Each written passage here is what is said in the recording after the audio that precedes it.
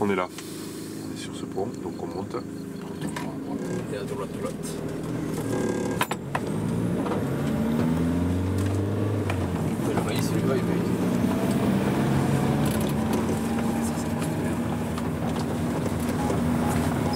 Le. Le, GPS est dans le sac derrière.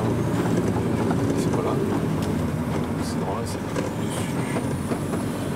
C'est ce ballon Ça va être ce ballon. Nous réalisons un inventaire euh, des zones humides euh, du département du Tarn-et-Garonne depuis maintenant euh, 2010. Cet inventaire a été réalisé pour le compte du Conseil général, du Conseil départemental maintenant, avec l'aide de l'Agence de l'eau et des fonds européens, du FEDER. Bon alors, est-ce qu'on est en zone humide? On a une belle prairie de fauche. Oh oui, tu vois, on commence déjà à voir la menthe. Dès qu'on arrive niveau un peu plus bas, on a le jonc, les jonglocs, on a la prêle géante. C'est de la cutiflore celui-là.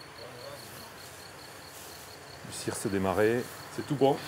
On est bien en prairie humide.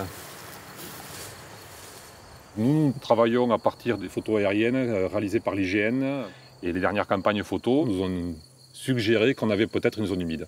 Donc nous sommes venus aujourd'hui pour euh, l'inventorier, nous assurer que nous étions bien en, euh, en zone humide, ce qui était le cas.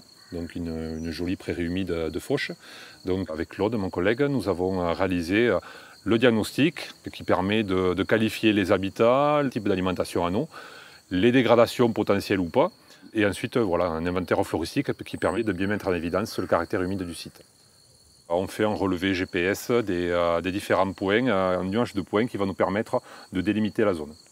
Donc cette zone-là, ensuite, a, une, fiche, une qui lui est attribuée et mise en ligne sur le site internet. Voilà, donc à partir de là, on peut consulter euh, tout l'inventaire en se déplaçant euh, sur le département. Donc euh, on peut faire des recherches par territoire, notamment en bassin versant, ou bien une commune, une communauté de communes. On peut aussi faire des recherches à partir de la typologie, à savoir des prairies humides, un boison marécageux, une roselière. On peut euh, aussi euh, faire des requêtes pour choisir euh, tel type de plante et donc voir tous les sites sur lesquels nous avons observé ces plantes.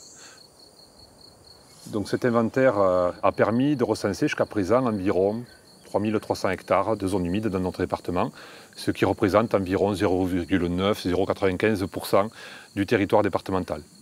C'est un inventaire qui est assez, euh, assez pauvre, on va dire, par rapport à la moyenne nationale, qui est d'environ 4,5 à 5% du territoire national couvert en zone humide. Ceci dit, c'est un territoire un peu particulier, puisque nous sommes à l'intérieur des terres. Donc nous n'avons pas les, euh, tout- toutes les grandes zones humides du littoral qui font euh, qu'on a de grandes surfaces au niveau national.